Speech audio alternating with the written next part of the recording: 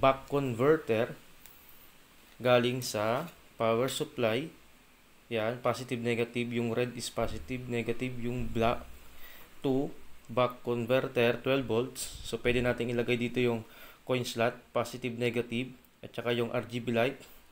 And then, ko-convert niya yung voltage from 12 volts papunta ng 5 volts to power up orange pi 1. So, yun yung purpose nito. So, yan po yung pinaka-basic na setup. Hello guys, um, bubuo po ako ngayon ng piso wifi uh, vendo machine in a basic setup. So, ito po yung mga kakailanganin po kapag bubuo po tayo ng piso wifi. So, unang-una, um, syempre, uh, walang bendo machine kapag walang bendo box. But, um, hindi po uh, kailangan ng bendo box para paganahin po natin ang ating uh, bendo, ang ating piso wifi uh, parts, no? So ngayon, um, papakita ko kung ano yung mga needs natin at uh, paano to mag-operate. So ngayon, unang-una sa lahat, ang kailangan natin na ito ay motherboard. Ito yung ating motherboard, no? Ang Orange Pi 1. So ayan, Orange Pi 1. Ito po yung kanyang karton.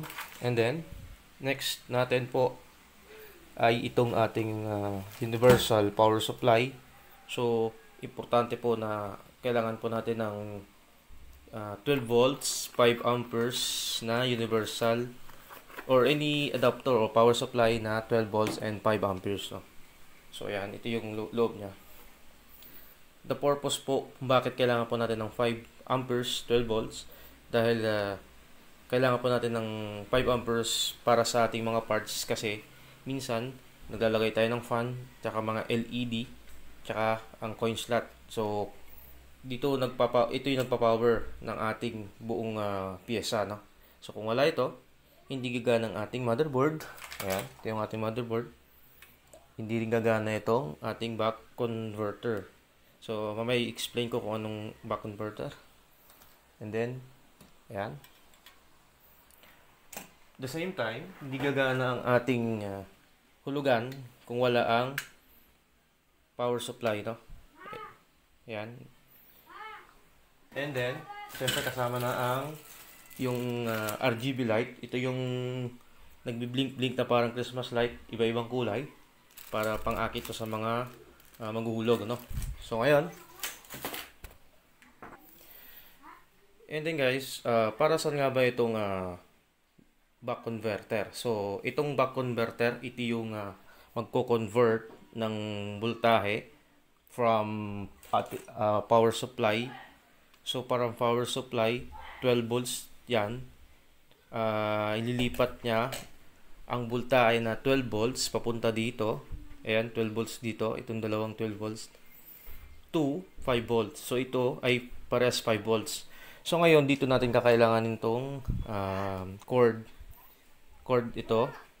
Uh, ito yung magpa-power kasi ng ating motherboard. So, dito yan. Okay. So, ito yung magpa-power ng ating motherboard na 12 volts. So, kasi itong ating motherboard, di po pwedeng 12 volts din. So, kailangan po 5 volts. Ito yung purpose ng ating back converter. At the same time, itong back converter na to, pwede po natin magamit yung 12 volts dito. Ayan. So 12 volts. Ito 12 volts din to, no? Positive, negative. So ito pwede po nating dito na lang isaksak yung ating uh, ito, ito yung RGB light. At saka pwede na rin tong isaksak dito yung ating uh, uh, coin slot na 12 volts. So itong dalawa, itong RGB light tsaka itong coin slot ay parehong uh, 12 volts. Okay?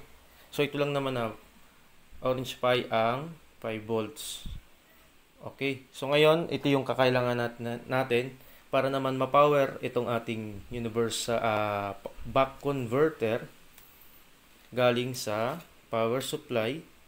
Yan, positive, negative. Yung red is positive, negative. Yung black to back converter 12 volts. So, pwede natin ilagay dito yung coin slot, positive, negative. At saka yung RGB light. And then, ko-convert niya yung voltage from 12 volts papunta ng 5 volts to power up orange pi 1. So, yun yung purpose nito. So, yan po yung pinaka-basic na setup. So, hindi rin gagana na siya pero uh, may kulang pa, no? Ano yung kulang? Ang kulang po dito, para magamit po natin, ay kakailanganin po natin na ng USB tulan port. So, bali, ito po kasi yung port, uh, papunta po ito sa ISP. ISP. Halimbawa, naka-same base po kayo. Ito po yung ISP na kailangan natin. Ito ay 936. So, same base po. Nilalagyan po ng SIM card dito sa likod. Ayan. Para gumana. So, uh, so ayun. At then, bakit kailangan natin ng USB to LAN? Kasi, ito lang naman yung, isa, isa lang naman yung LAN port dito. Ayan. Papunta lang sa ISP. So, ang dito is USB. Need natin tong USB to LAN. Ayan. Dito po yan, USB to LAN. Wait lang. Itong USB to LAN. Ayan, so parehas na po sila ng port, no? Ayan, pakita ko. Oh, sige. So, itong isa naman kasing USB to LAN, um, dito po natin i-connect ang ating access point. Access point, ito po yung, dito po tayo magko-connect sa piso Wi-Fi. Dito po yung, uh, papalitan po natin ng SSID, yung uh, piso Wi-Fi name. Halimbawa kung anong piso wifi name ang kailangan o gusto mo. And then, dito na papasok yung access point. No? Dito natin i-connect. Ayan. So mamaya, uh, um, gagawin ko yan. Uh, papalitan ko ng access point. I-configure natin siya. So bali, itong access point na to na TP-Link ay already uh, configure as access point na talaga. And then, magpapalit ka na lang ng uh, piso wifi o magpapalit ka lang ng uh, pangalan, yung SSID. By the way, so uh, alam nyo na yung basic setup no, back converter, Orange Pi, USB to LAN, and then access point, then universal power supply. Pero meron pa po tayong isang kulang. Hindi po gagana ang piso wifi kapag wala pong memory card, SD card. Ayan. So, ito po yung kailangan natin. Sa akin, uh, 32 GB. Pero, goods na po yung 16 GB. Basta ang importante po sa ating memory card ay naka yung class 10, yung number 10. Ayan, dapat number 10 po siya. And then, dito kasi natin ilalagay, magpa-flash po tayo ng image ng ating software. Kung anong piso wifi software man ang gusto mo uh, ako po, ang ginagamit ko ay ang LPB software. So, hindi po gagana ang piso wifi kapag wala pong memory card, no? So, kailangan po nating uh, mag-flash ng uh, software. Magda-download po tayo ng software sa LPB. Mag-create po tayo ng account. And then, ipa-flash po natin siya sa uh, cellphone or laptop. So, kailangan po natin ng laptop, no? Sa, sa ngayon, para ma-flash po natin ang ating uh, ah, sorry, image ng LPB software sa ating memory card, kailangan po natin ng card reader. Hindi po tayo makakapag-flash kapag nilagay po natin sa uh, cellphone lang yung memory card. So, ito po yung kailangan natin card reader. Ayan. So, ito po yung card reader. Ayan. So kapag sa laptop, syempre ito. At then yung kapag gusto mo naman sa cellphone, pwede na yung uh, type C, no? So uh, type C kasi yung aking phone. Pero suggestion ko mas maganda laptop kasi napakabagal po kapag magpa-flash ng image ng software kapag sa cellphone. So ito po yung ating uh, memory card. Ito po ganito po 'yan. Usually nakapag-flash na po ako dito, pero papakita ko kung paano mag-flash para sa inyong kaalaman. So, sa mga ibang tutorial kasi, no, uh, gutay-gut, hindi sakto or hindi kompleto. So, ngayon gusto kong ipakita yung kompletong uh, setup para gumana ang ating piso wifi. So, ngayon ipa-flash na po natin sa ating laptop. So, ito po yung aking laptop. So, kung need po natin mag-download muna ng Balina Itcher, no? So, bali na itcher po kailangan po natin kapag magpa-flash po tayo ng um, software. So, ako nakapag-download na ako ng LPB uh, software. Yung version po niyan ay 15.3. Pakita ko lang yung na -down downloaded na na software ng LPB. So, ayan. Punta po ako sa my documents, ah, desktop. Desktop po kasi nakasave yun. So, hanapin ko yung Piso Wipa uh, LPB version image. Ayan. So, ayan po yung image. Sorry, medyo malabo. Ayan. So, ito yung gagamitin. Ito yung ipa-flash po natin ng 15.3 version ng LPB Piso Wi-Fi. Orange Pi release. Okay? So, ngayon, sorry, i kakabit ko na, ilalagay ko na tong card reader sa ating laptop.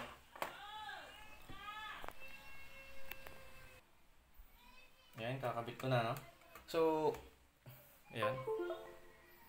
So, nakapag-flash na po ako kasi dito ng firmware, uh, ng image pero ipapakita ko sa inyo, i-format ko muna siya. By the way guys, sa mga uh, halimbawa corrupted na yung SD card, ilalagay, kukunin nyo ulit yung SD card sa inyong Orange Pi and then i, i magpa-flash kayo ng panibago, kailangan po nating i-format. So, format disk. So, after natin ma-format, sorry. So, need po natin i-format muna to. Kasi nakapag-flash na. Ipapakita ko kasi sa inyo, sa, sa inyo kung paano mag-flash using Balina Etcher. So, ayun, complete na po yung format natin. Ngayon, ang una po natin gagawin ay pupunta po tayo sa Balina Etcher. So, kailangan nyo i-download to sa inyong PC, sa inyong laptop. Kapag Android naman po o sa cellphone, uh, un, uh, nakalimutan ko. Basta nito yon So, wait lang, medyo matagal. So, ayan. So, ngayon, ayan na. So, pupunta po tayo dito sa flash from file. So, ito kasi naka-automatic na siya. Mapupunta po siya sa LPB folder ko. So, ito yung 15.3 version. So, uh, don't mind this ano version 15.4 kasi ano lang yan eh, naka parang clone, parang hindi pa siya upgraded talaga. So, 15.3 po talaga yung ginagamit ko. So, after nyan, open. So, ayan na. So, ayan na, generic SD device. Ito na yung ating uh, card reader. So, ang next ay flash. So, maghahantay po tayo siguro ng mga I think uh, ah, 5 minutes siguro para ma-flash po natin to. So, after natin ma-flash, ayan, So, do you want to allow the following program to make changes to this computer? Yes. I-allow po natin yan. After nyan, yan na po yung mag-start po yung starting na po yung magpa-plus niya. So, five, after 5 minutes po, babalikan po natin.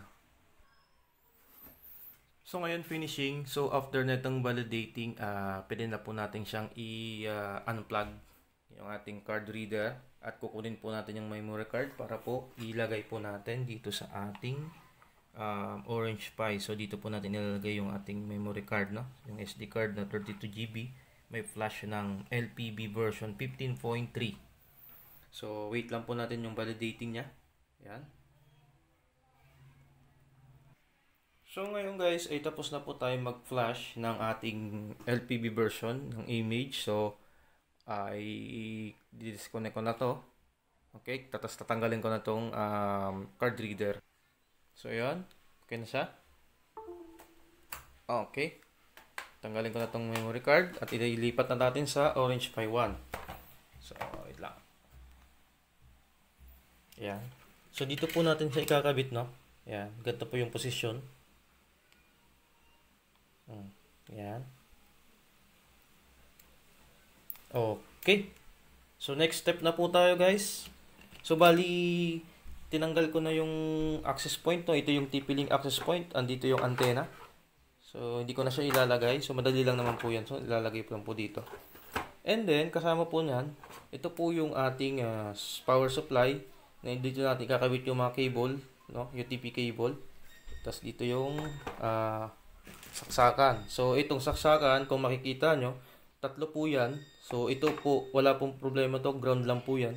kung halimbawa gusto nyo gagamit ng gantong outlet, ganto, so ganto lang, edi pwede po natin siyang, kasi, kasi wala po siyang ground, no? So, pwede po natin siyang putulin. So, ang ginagawa ko po, tinatanggal ko lang to, no? Madali lang naman po, tanggalin lang yan. Tapos, pwede na pong isaksak gagana na po siya.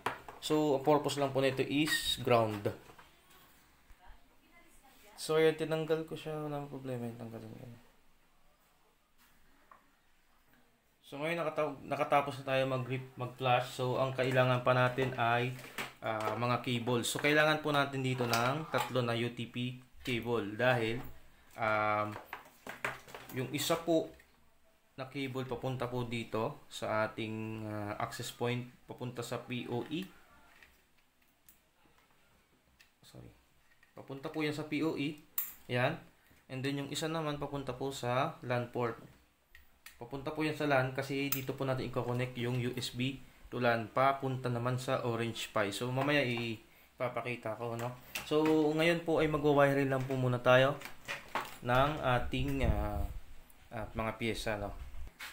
So para di kayo malito, set aside ko lang po muna to no yung uh, access point natin.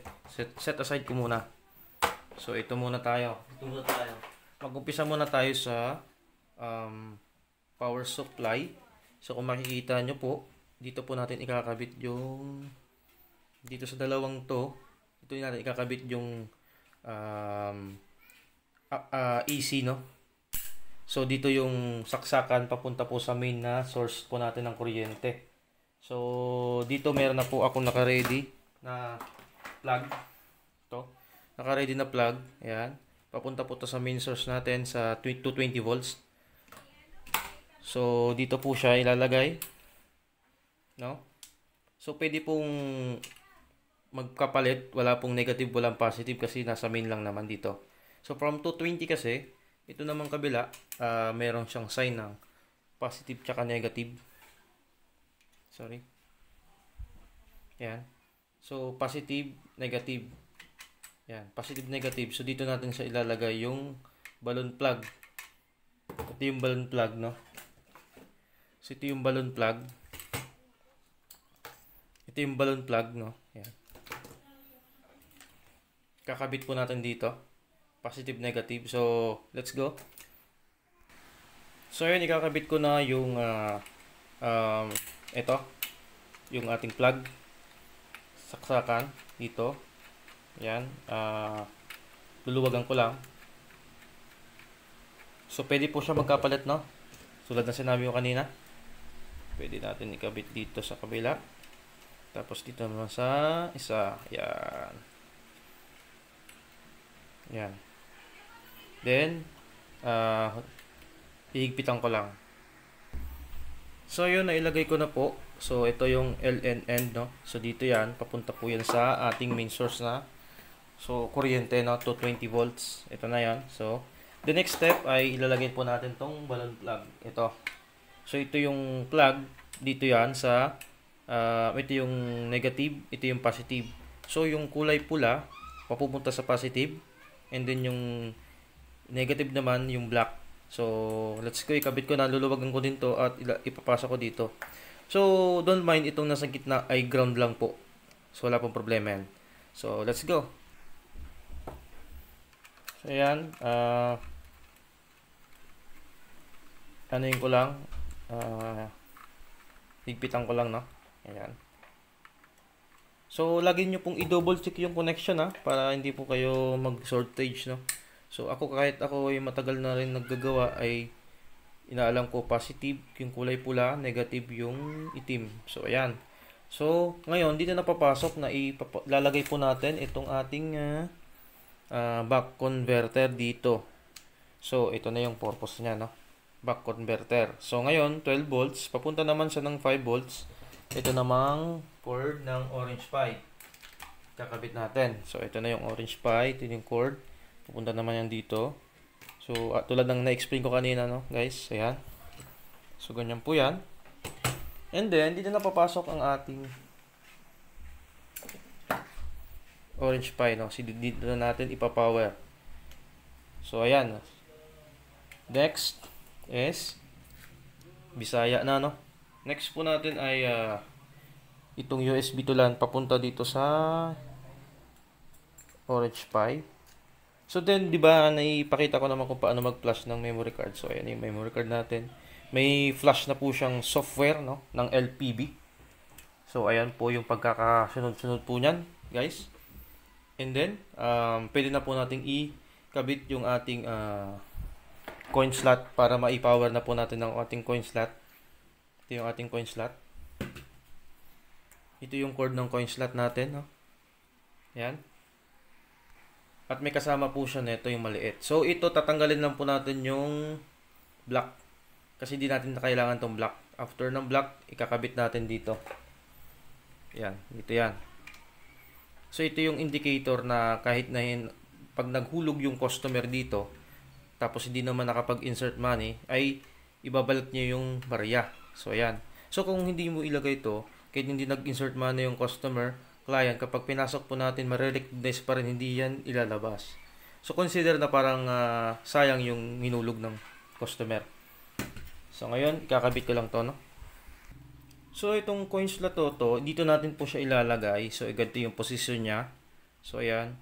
Itong pula, itong pula na to, wait lang. So, itong pula na to, papunta yan dito sa Sorry, di ma-focus. Dito yan sa 12 volts, yung pula. 12 volts, tapos yung coin, yung white. Ito yung white. Tapos yung black, yung ground. So, tatlo lang yung kailangan natin. Yung pula sa 12 volts, yung puti sa coin, tapos yung black naman doon sa uh, ground. So, itong gray po ito, sorry, nabagsak ko. Itong gray ay wala na po yan. Tatanggalin po natin yan. Nail cutter lang ang gamit ko. Nasira yung cutter ko eh. So, yun lang yung kailangan natin, no, guys. Plus, ito.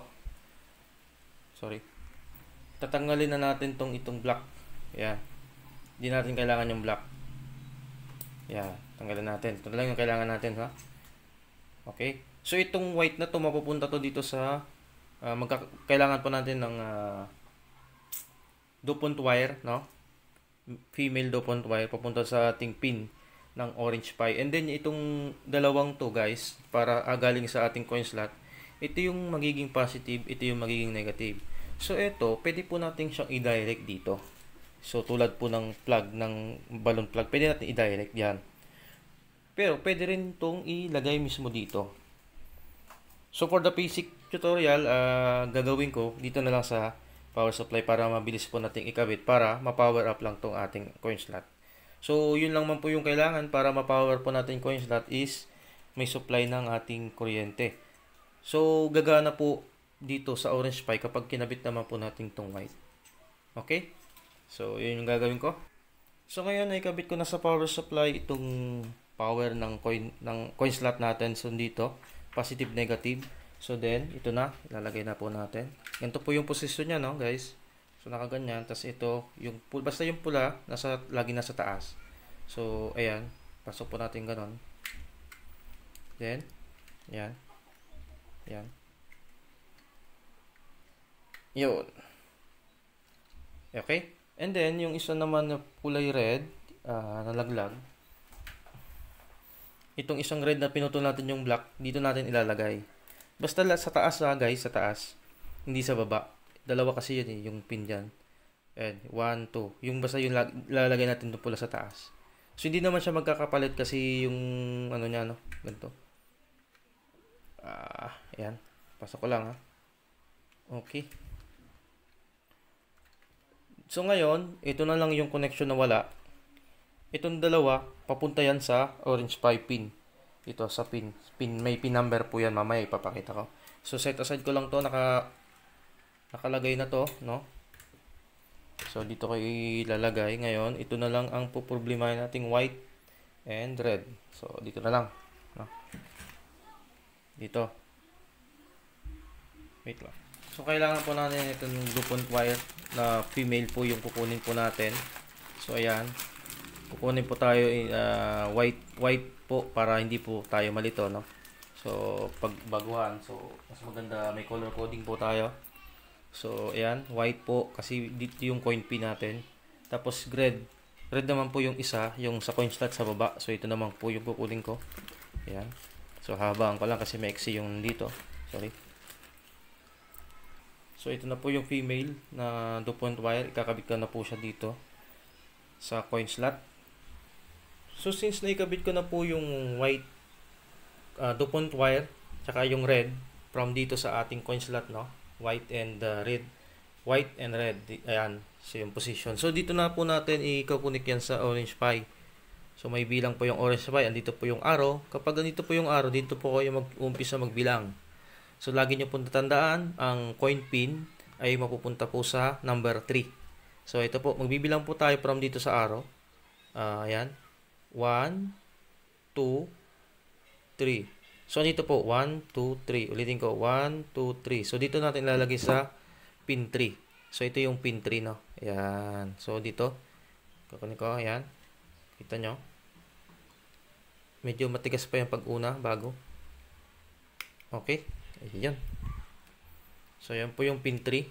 Ito, 1, 2, 3. So, ayan. Next na po natin ilalagay is yung dupont wire naman. Coin slot. Papunta sa orange pie naman.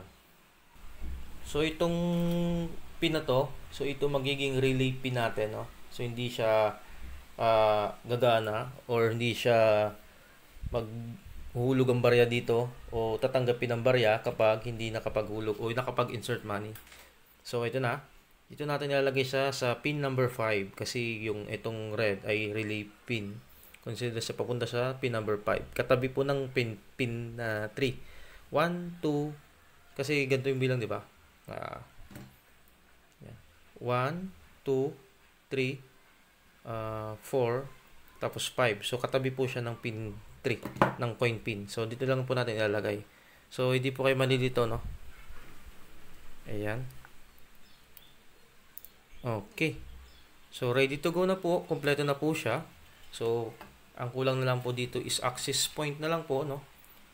Dito ikakabit yung cable papunta ng access point and then sa ating main source na ISP, pwedeng SIM-based po. So ngayon, nandito na po ang ating access point na TP-Link 110. So ayan. So para hindi po kayo malito, ilalagay ko na lang din po sa yung antenna. So ayan. Ito po. Ganito lang po ilagay yan, no? Napakasimple. Ayan. Ikutin lang po siya dito. Ayan. And then, uh, ang paglagay po nito sa pool, sa poste, kapag nakalagay na po, ay uh, ganito po yung position dapat. Yan. Yan. Hanggang ganyan. Yan po. Pwede rin pong ganito. Konti. Yan. So, mas maganda nakabend. Hindi, mas pangit po yung nakaganon. Dapat nakaganon po. Yan. So ngayon, ikakabit na po, ilalagay na po natin dito yung LAN port, LAN cable dito. So sa ngayon po, para po uh, maset, mag, makuha po natin yung complete uh, set ng piso wifi ay kailangan po natin ng tatlong cable. So bakit kailangan natin ng tatlong cable? Kasi from dito po sa ating power supply ng uh, TP-Link ng ating access point, kailangan po natin ng uh, isang cable. Uh, itong cable is papunta sa LAN. LAN, LAN.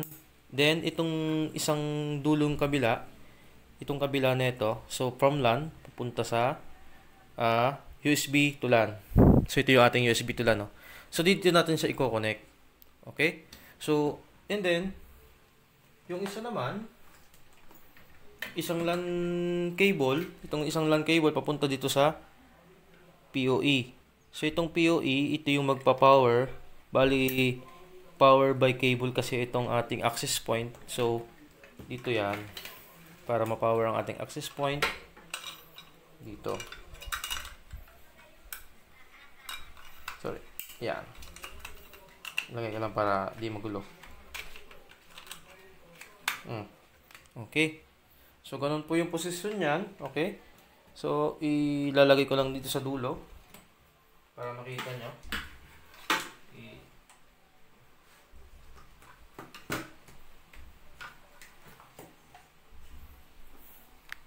So, ngayon, itong cable na to mapupunta naman siya dito sa um, USB tulan.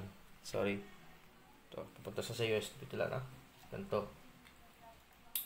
Ayan. So, ayun yung setup natin. USB to LAN. Papunta sa power, power adapter na papuntang LAN. Ayan, may pangalan na LAN. LAN. Then, yung isang PoE, papunta naman siya dun sa mismong access point niya. So, ayan. Okay. And then, so, dahil meron na po siyang access point, kompleto na po yung set niya, um, kailangan po natin ng ISP. Ito po yung internet source po natin. So, pwedeng SIM base or pwedeng fiber. Kung hindi, uh, fiber, PLDT, Converge, Globe at Home, etc. DCTV, yan.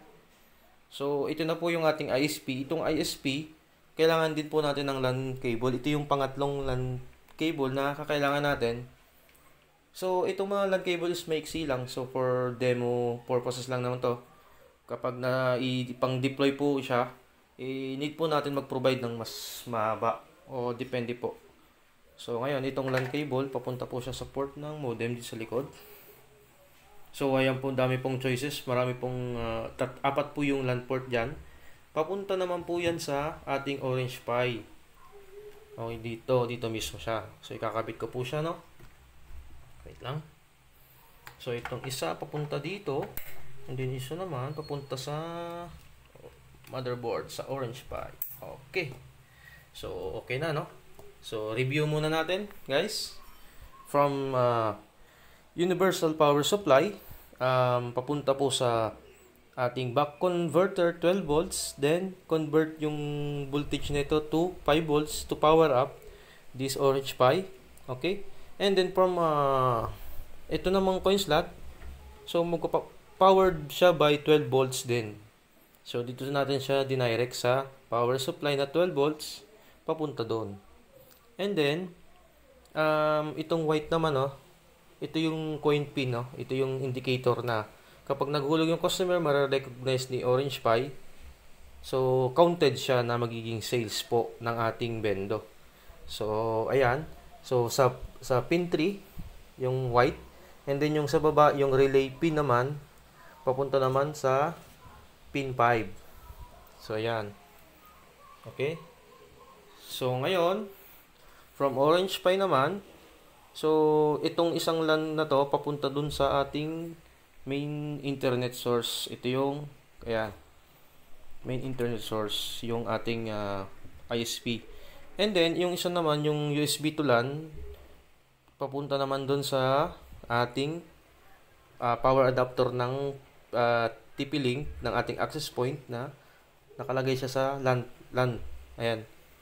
Then, PoE, yun naman yung magpa-power sa ating TP-Link sa ating access point. So, ito yung complete set po. Oh. And then, especially, hindi gagana ang ating uh, piso Wi-Fi. Di, di siya mag-ooperate kapag walang SD card. So, itong setup ay wala pa, di pa kasama yung lisensya dyan. Pero, ang LPB meron po siyang trial mode.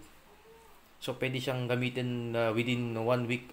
I think, ang Pisofy kasi na software, hindi siya magagamit kapag walang lisensya. So, ito yung kagandahan ng LPB.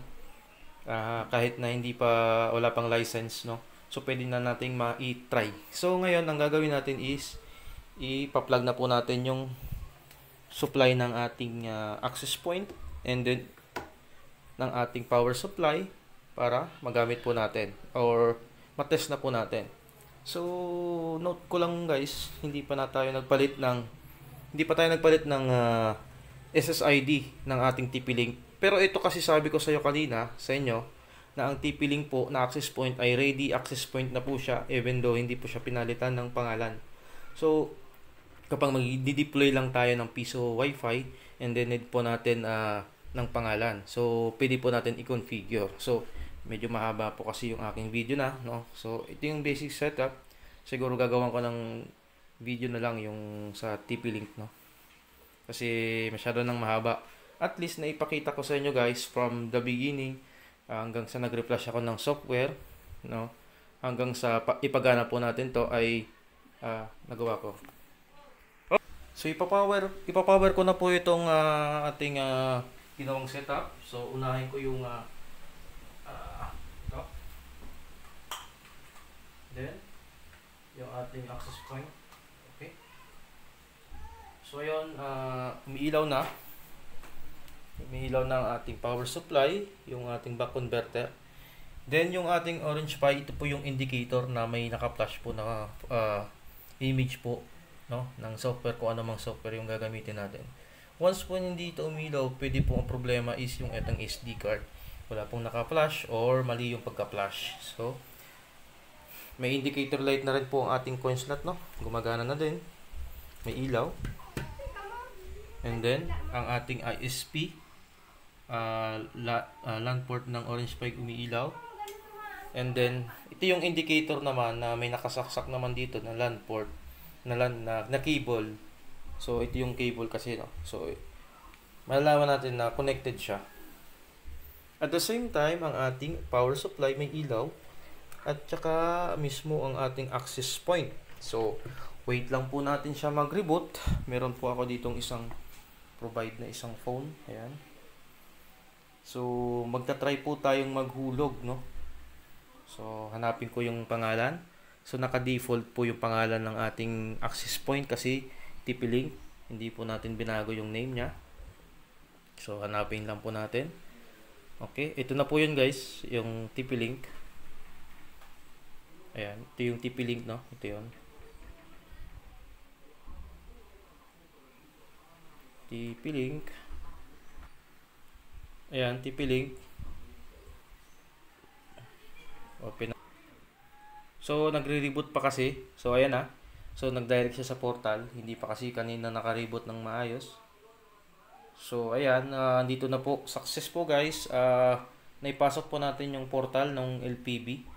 Ito ang LPB, uh, ano, uh, piso Wi-Fi LPB. Powered by LPB piso Wi-Fi. So, ito yung insert money. Try po natin mag try ko munang hindi mag-insert money din maglalag maghuhulog ako ng barya sa coin slot. So ilapit ko lang ng konti, no? Ayan. So maghulog ako ng coin ng barya sa coin slot. Meron ako ditong piso. Luma, luma at saka bago, tsaka 5 peso. So maghulog muna ako, no? Ayan. So ayan, di ba? Di tinatanggap. Ayan, di tinatanggap. So, working po ang ating relay. Ito po yung dahilan, no? Kung wala po na ito, pwedeng uh, uh, kakainin lang po ng coin slot. No? So, ngayon, mag-insert money na ako. Pakita ko sa inyo yung insert money. Ayan. So, mag-insert money ako.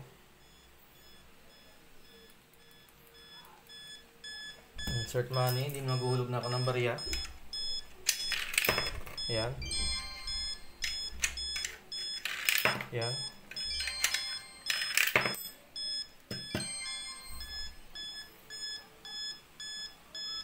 So guys, done paying na.